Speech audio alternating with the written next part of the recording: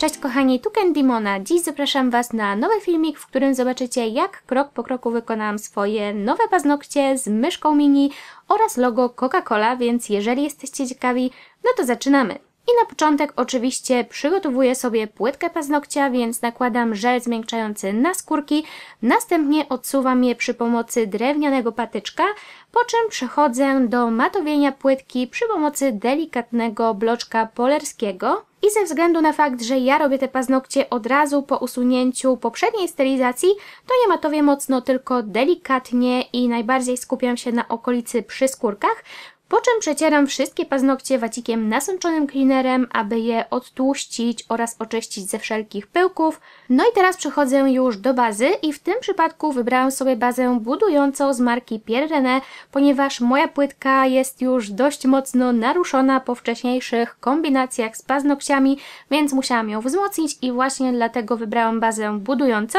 Oczywiście nakładam tę bazę na wszystkie paznokcie, po czym utwardzam je w lampie. No i teraz przechodzę do pierwszego koloru i w tym przypadku wybrałam sobie numerek 18 z Pierre który moim zdaniem jest jedną z najładniejszych czerwieni tej marki. Jest to odcień Crismon i jak widzicie to jest taka naprawdę piękna czerwień. Jeszcze troszeczkę świąteczna, powiem Wam, że te paznokcie troszkę ze świętami mi się kojarzą, ale ja tak naprawdę uważam, że taka klasyczna czerwień nie wychodzi z mody i można ją nosić przez cały rok, więc nakładam ją na dwa paznokcie i następnie przechodzę do koloru białego. Jest to numerek 1 o nazwie White oczywiście i pokrywam nim paznokieć na palcu serdecznym. Jeżeli chodzi o krycie tego koloru, to jest troszeczkę gorsze niż w przypadku tej czerwieni, bo czerwień kryje nam praktycznie już po jednej warstwie i wygląda po niej bardzo ładnie, natomiast w przypadku tej bieli zdecydowanie widać większe prześwity, więc po utwardzeniu tych paznokci przechodzę do aplikacji drugiej warstwy. Tutaj również na czerwony kolor tę drugą warstwę nakładam, żeby wszystko było idealnie pokryte, idealnie równe i jak widzicie po tych dwóch warstwach jest naprawdę idealnie, już tutaj niczego nie będę dokładała. Jeżeli chodzi o kolor biały, to szczerze Wam powiem, że gdybym miała go zostawić solo, nałożyłabym jeszcze trzecią warstwę, ale ze względu na fakt, że będzie tutaj zdobienie, no to uznałam, że te dwie warstwy również będą wystarczające, więc teraz po ponownym utwardzeniu wszystkich kolorów przecieram paznokcie wacikiem nasączonym cleanerem, aby usunąć warstwę dyspersyjną, ponieważ będę tutaj robiła stempelki, no i dyspersja by mi w tym przeszkadzała. Więc jeżeli chodzi o stemple, to tutaj standardowo korzystam z moich ulubionych lakierów z marki Katz.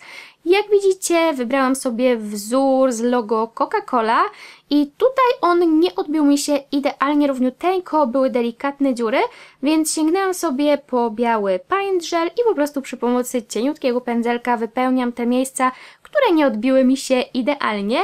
Więc kiedy uznałam, że wszystkie ubytki są już wypełnione, to delikatnie utwardziłam to w lampie, żeby mi się nic nie przemieszczało i następnie sięgnęłam po dry top, który aplikuję bezpośrednio na to moje zdobienie, ponieważ chcę je delikatnie utrwalić, żeby nic się z nim nie stało, kiedy będę malowała kolejne paznokcie. Wiadomo, że różne rzeczy mogą się zdarzyć podczas wykonywania zdobień, więc wolałam nie ryzykować i dopiero kiedy ten paznokieć miałam wykończony, to przeszłam do kolejnego.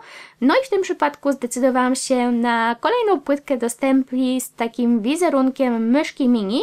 Tutaj nałożyłam czarny lakier do stempli, następnie ściągnęłam jego nadmiar, no i przeniosłam stempelek na paznokieć, który był pokryty białym kolorem i powiem Wam, że za pierwszym razem nie wyszło to idealnie, więc poprawiłam swój stempelek i raz jeszcze odbiłam swoją myszkę, no i w tym momencie już zostawiłam ją, aczkolwiek również sięgnęłam po czarny paint gel, którym wypełniłam sobie delikatnie wszelkie ubytki i po utwardzeniu tego żelu również nałożyłam top coat, aby tutaj już niczego nie uszkodzić.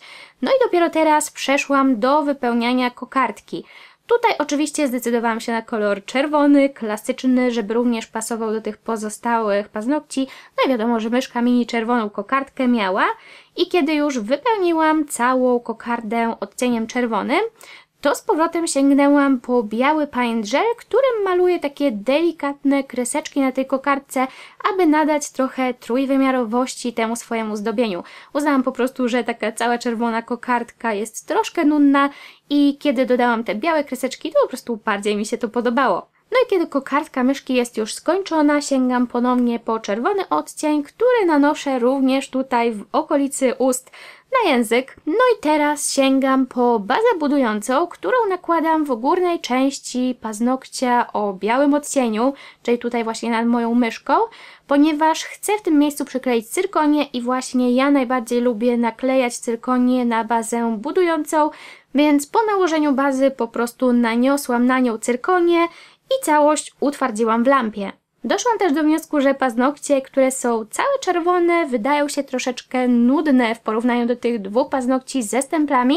dlatego sięgnęłam po taką czerwoną folię, która moim zdaniem naprawdę świetne efekty tworzy na paznokciach, i tutaj zauważcie, że ja nie miałam już warstwy dyspersyjnej na tych czerwonych pazurkach, natomiast i tak ta folia się przykleiła, ponieważ ona ma to do siebie, że ona się przyczepia do wszystkiego i nawet jeżeli nie ma dyspersji, to ona potrafi się przykleić i mocno trzymać, więc tutaj po prostu nakładałam te kawałki folii i następnie przyklepywałam je tak jakby pacynką, żeby mi się nie przemieszczały w żadną stronę i żeby ładnie przylegały, po czym sięgnęłam po top coat, którym zaczęłam pokrywać swoje paznokcie i tutaj przy pierwszej warstwie starałam się to zrobić dość szybko, żeby tej folii nie poprzemieszczać. Oczywiście po pierwszej warstwie dokładnie przetarłam jeszcze pędzelek o wacik bezpyłowy, żeby ta folia nie znalazła się w moim topie i żeby później nie przeszkadzała mi w kolejnych zdobieniach.